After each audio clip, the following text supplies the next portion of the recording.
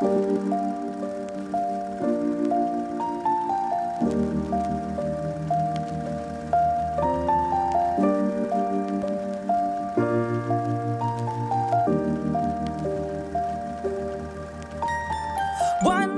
Kobe Bryant, ο βασιλιάς του NBA, δεν είναι πια εδώ.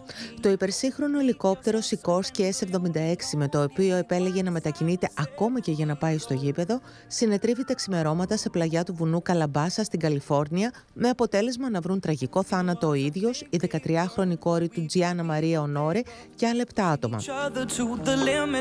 Σύμφωνα με τις πρώτες εκτιμήσεις, η πυκνή ομίχλη που επικρατούσε στην περιοχή θεωρείται ο λόγος που ο πιλότος έκανε τουλάχιστον 6 κύκλους σε ένα πολύ χαμηλό ύψος για 15 λεπτά πριν τελικά συντριβεί το ελικόπτερο.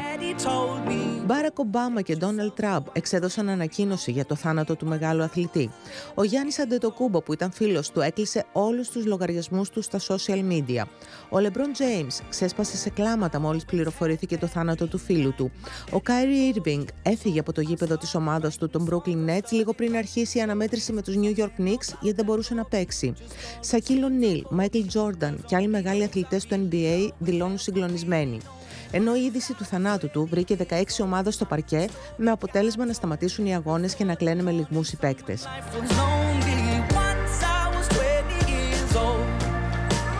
Ο Κόμπι Μπράιαντ υπήρξε ένας από τους κορυφαίους όλων των εποχών στο μπάσκετ. Πριν κλείσει τα 42 του χρόνια είχε ήδη συγκεντρώσει 5 δαχτυλίδια πρωταθλητής στο NBA, 18 παρουσίες σε All-Star Game, 2 Ολυμπιακά χρυσά μετάλλια, 33.643 πόντους, 680 εκατομμύρια δολάρια περιουσία, ένα Όσκαρ το 2017 για το ντοκιμαντέρ Dear Basketball. Ο Μπράιαν κατάφερε περισσότερο από τους περισσότερους. Δεν έμεινε το καλό παιδί που όλοι επενούσαν στην αρχή της καριέρας του. Εξελίχθηκε στο Black Mamba, όπως τον αποκαλούσαν, έναν απαιτητικό ηγέτη στο τιμόνι των Lakers για 20 χρόνια. Ο Κόμπι υπήρξε αθλητής πρότυπο, τόσο από την άποψη του επαγγελματισμού, όσο και από εκείνη της αυτοπιθαρχίας.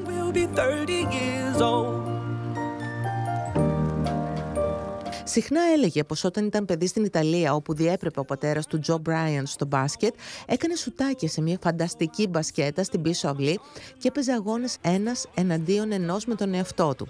Το παιδικό όνειρο έμελε να γίνει η αρχή για να κατακτήσει από νωρίς τον κόσμο. Το 2003 γράφτηκε μια μελανή στιγμή στην καριέρα του. Σε ηλικία 24 ετών και ενώ ήταν ήδη παντρεμένος με τη Βανέσα, κατηγορήθηκε για απόπειρα βιασμού, αλλά η υπόθεση θα λήξει με εξοδικαστικό συμβιβασμό. Ο ίδιος ισχυρίστηκε ότι επρόκειται περί συνενετικού σεκ με μία 19χρονη ρεσεψιονής.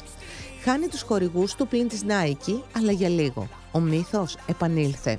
Ο Black Mamba λάτρευε τη σύζυγο και τις τέσσερις κόρες του, τα ταξίδια και την καλή ζωή. Η Ελλάδα και η Μύκονος ήταν ο αγαπημένος του προορισμός.